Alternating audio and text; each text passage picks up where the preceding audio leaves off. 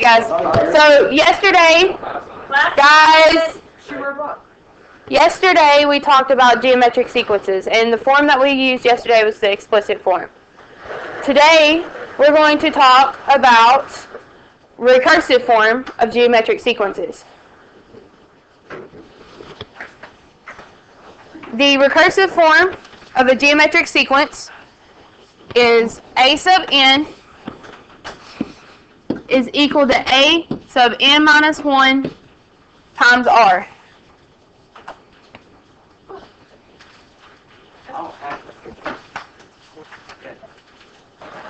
So the recursive form is a sub n equals a sub n minus 1 times r, and you also have to list what a sub 1 is.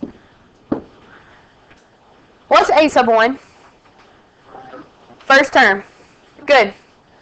A sub 1 is the first term.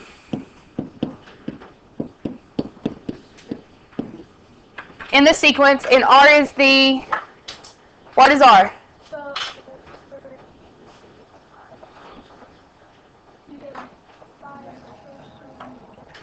Mm-hmm. What's that called? What's R called? Common ratio.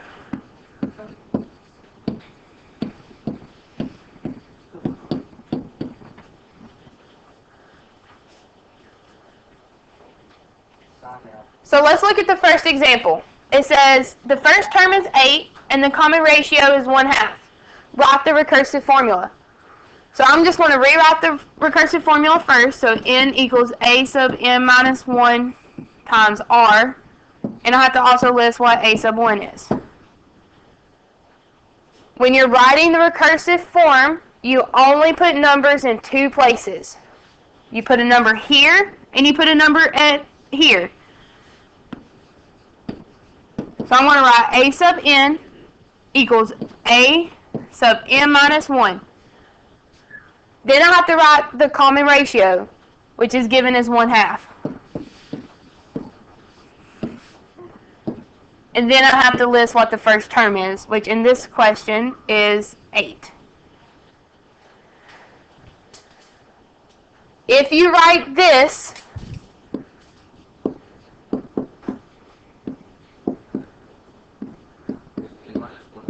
if you write this, you are wrong. You will not get credit for this. You cannot put a number here. A number does not go there. This right here is all you do. That's all you do. Y'all try the next one.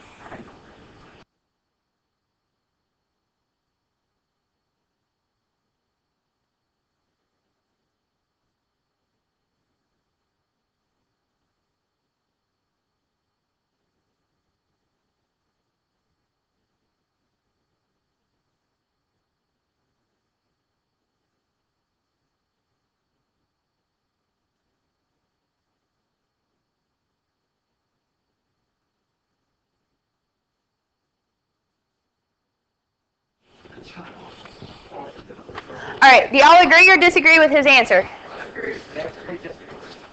What is 3? What's that called? Ratio. What kind of ratio? Common. Common ratio. Alright, let's look at the next example. It says that the fourth term is 1 over 24 and the common ratio is 1 half. It asks us to write the recursive formula. So I'm going to write a sub n is equal to a sub n minus 1 times my r, which is 1 half. But I have to write my first term. Am I given the first term? Yes. Oh, no. I'm given the fourth term. So put four But- Nope. No. I can find the first term by using the explicit formula that we learned yesterday. So I'm going to have a sub n equals a sub 1 times r to the n minus 1. That's the formula that we learned about yesterday. So I'm going to plug in what I know. I know that the fourth term is 1 over 24. So I can plug in 1 over 24 here. Do I know what my first term is? No. No. So I'll leave it as a sub 1. Do I know what my r is? Yes. What's my r? One half. One half. And what is n? Yes, we do. one. So what is n? Four. 4 minus 1. No, no. You don't have to- Alright. Using the calculators that you have on your desk, I want everyone, come on, PJ, turn around. Turn around. In your calculators, I want y'all to type in 1 half to the third power. I'm good. Like seriously. That's what I'm The fourth term is 1 over 24. Put it in a over, The-. Guys,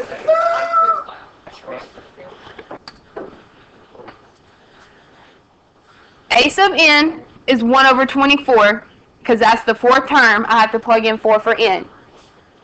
So if in your calculators, put 1 half to the third power, it gives you a decimal point. hmm If you turn that decimal point into a fraction, you should get 1 over 8.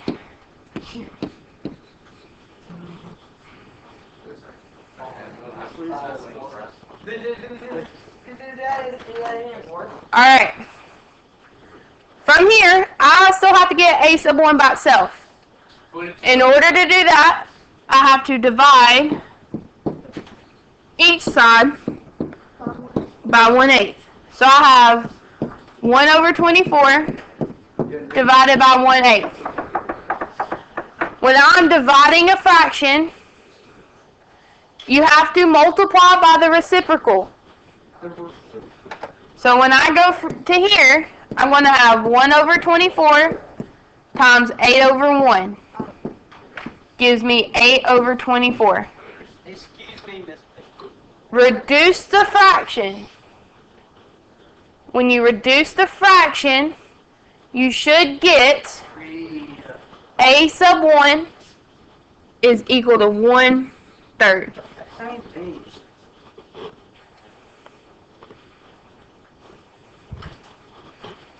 So 8 over 24 is equal to 1 third. Y'all try the next one. Hold on, hold on. Watch Anthony. I wanna watch him.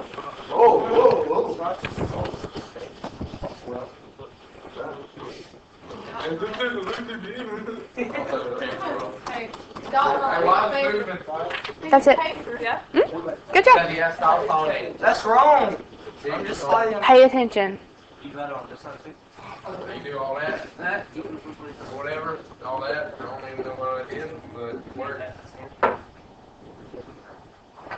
Hey, I'm confused. Just- Just right. Can I please? Just let him try it. Why is it touching? Because your paper's touching the board. The dude told me it was right.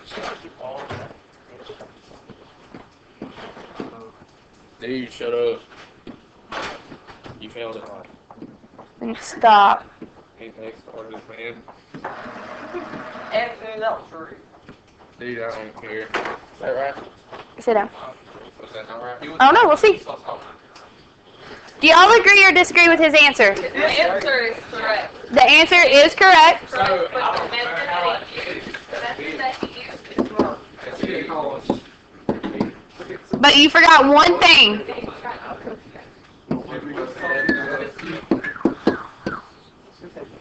Recursive, Anthony, recursive form, you have to write this. Alright, I heard someone say that they were confused, so let's work through the problem. I'm going to extend the page. Alright guys, pay attention. Brittany, move over here behind Patricia, please.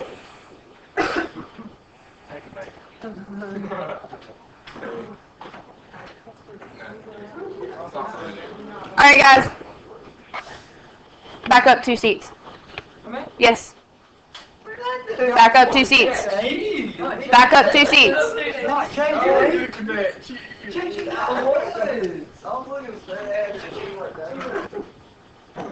So we're given the problem and it says that the fourth term is 625. The common ratio is 5 and it asks us to write recursive formula. So the recursive formula is a sub n is equal to a sub n minus 1 times r. We're given r. r is 5. So we write 5. But we have to state what the first term is, but we're not given the first term. So that's when we have to do this to find the first term. What you was was 625 is equal to a sub 1 times 5 to the 4 minus 1 power. Because our formula is a sub n equals a sub 1 times r to the n minus 1 power. Now, all we have to do is solve for a sub 1.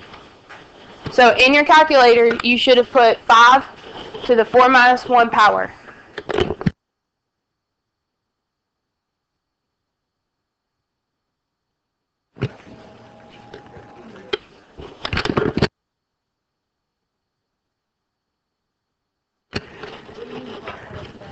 Alright, 5 to the third power is 625 equals a sub 1 times 125. We're having to solve for a sub 1. So I have to divide by 125. So 5 equals a sub 1.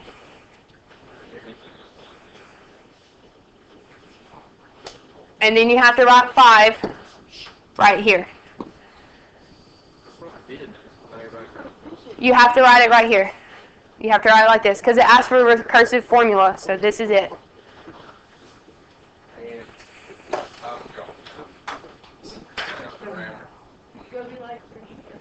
Oh.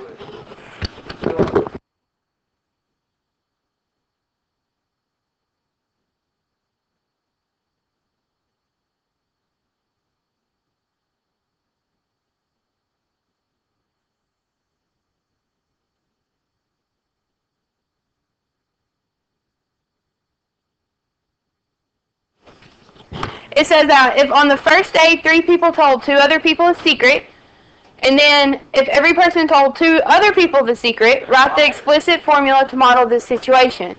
How many people would know the secret on the eighth day? So on this one, instead of writing recursive, it asks us to write the explicit formula. So that's the a sub n is equal to a sub 1 times r to the n minus 1 power. Do I know what a sub n is? No. So I keep a sub n. Do I know what the first term is? What is it? 3. What is r? We told three people and they each told two person, two people. Oh my God, that big So this is my formula.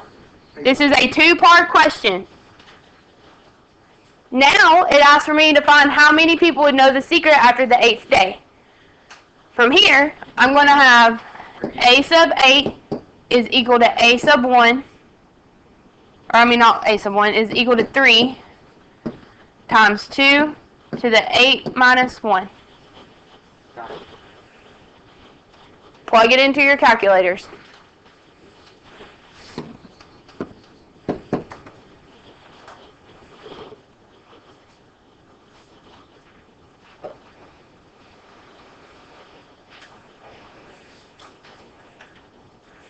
Good job.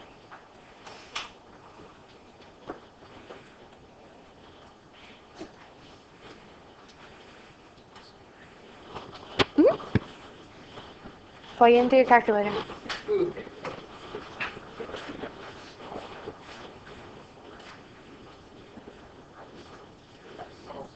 Do three, parentheses, two, parentheses, caret, or the house, rooftop.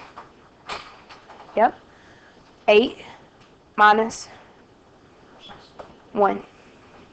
Enter. That's your answer.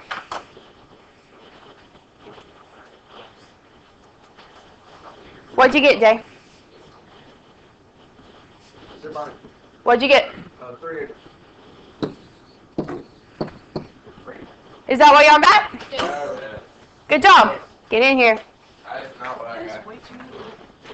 What'd you get? Let me see what you put in the calculator. Oh, yeah, I messed up. I mean, yeah. Yep. Alright, let's look at the last example. I'm sorry, you went out of the room. You can see it in a minute. The table shows, come on guys, the table shows that a car's value for three years. Stop. You too, PJ, turn around. The table shows a car's value for three years after its purchase. The values form a geometric sequence. How much will the car be worth after eight years? I need the explicit formula again. So I'm going to have A sub n is equal to A sub 1 times r to the n minus 1 power. I don't know. I'm looking for the eighth term. So I'm going to have A sub 8. Do I know what my first term is? What is it? 18,000. What is R? Is it given? No. But can I find it? Do I know how to find it? Yeah. How? I know you know that's fine. I don't know how You you like, do why, it. why one over S? No. I don't know.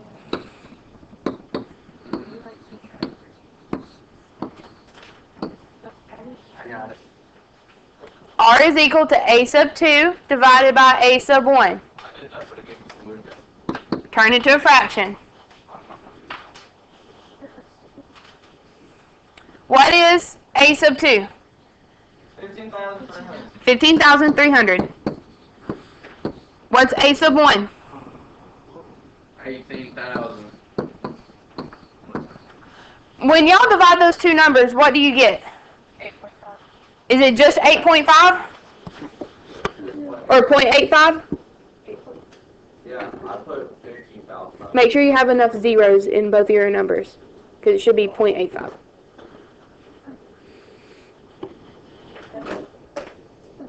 Yes, point eight Okay.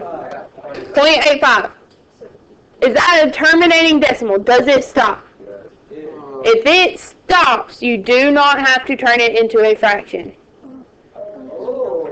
If it stops, you do not have to turn it into a fraction. So you can use the number Point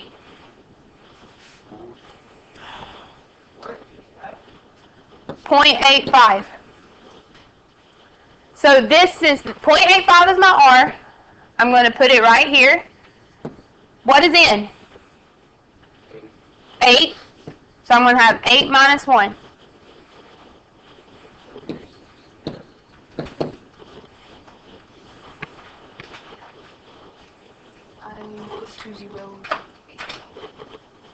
Yep. That'll do it. So what is A sub 8 equal to? Five thousand seven hundred seventy point thirty-eight. Round correctly. Thirty-nine.